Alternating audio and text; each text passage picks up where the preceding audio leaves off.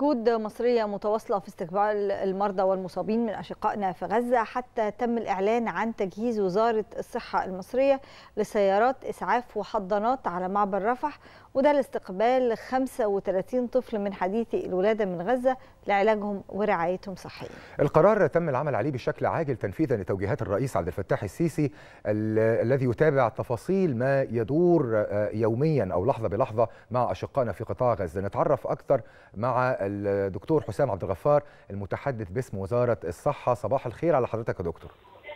صباح النور يا فندم. تحياتي لحضرتك ولمشاهدي صباح الخير حابين في البداية نتعرف من حضرتك على الأعداد اللي تم استقبالها حتى الآن من أطفال قطاع غزة لرعايتهم صحيا داخل المستشفيات المصرية.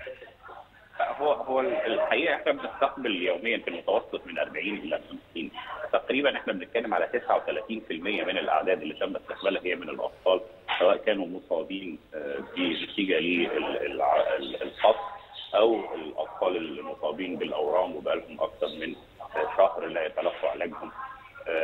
لكن فده المتوسط اليومي يعني لكن إحنا مش بس بنستقبل أطفال إحنا بنستقبل في أطفال وفي كبار سن وفي نساء. فالحقيقة إنه يعني هناك الكثير من الأطفال زي ما قلت نسبة النساء مثلا 25% من إجمالي المصابين نسبة الأطفال اللي هم أقل من 18 سنة بنتكلم على 39% تقريبا.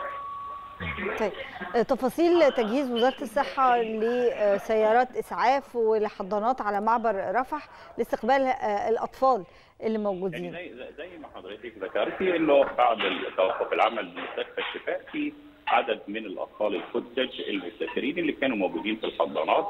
بعد توجيه السيد الرئيس وزاره الصحه والسكان والسكان الدكتور حركوا عندنا أكثر من 35 سيارة اسعاف مجهزة بحضانات أطفال متنقلة موجودين في المعبر استعدادا لوصول هذه الحالات، حضرتك عارفة طبعا إنه نقل الأطفال في الوضع العادي هي مسألة تحتاج إلى مهارة. فما بالك بقى لما يبقوا كمان محتاجين إلى حضانات وأكسجين؟ لكن الحمد لله سواء الطواقم الطبية أو السيارات الاسعاف هي مجهزه تماما للتعامل مع مثل هذا. حابين نتعرف من حضرتك على طبيعة الإصابات والحالات القادمة من غزة خصوصا للأطفال وإحنا بنتكلم على يعني قصف مستمر وإصابات حروب بتكون دقيقة وبالغة الدقة للغاية.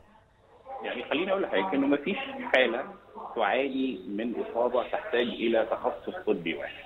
الحقيقة إنه أغلب الحالات إن لم يكن جميعها تحتاج في التعامل معها إلى أكثر من تخصص طبي جراحة اوعيه دموية، جراحة مخ وأعصاب، جراحة عظام، جراحة تجميل، حروق ده بالإضافة لتخصصات الرعاية المركزة لكن أنا بتكلم على التعامل المباشر. فحجم ما فيش حد اصابته إصابة واحدة. لكن تجد حرق مرتبط مع بتر في الأطراف مرتبط مع انفجار في أعضاء الجسم الداخلية تجد تكسير في العظام تجد مع انفجار في مخلص العين. فالحقيقة شظايا في في المخ أدت إلى التأثير على الحركة والكلام فالحقيقة إنه حجم الإصابات هي معقدة جدا وصعبه جدا ونسأل الله سبحانه وتعالى له السلامة. بنشكر حضرتك دكتور حسام عبد الغفار المتحدث باسم وزارة الصحة.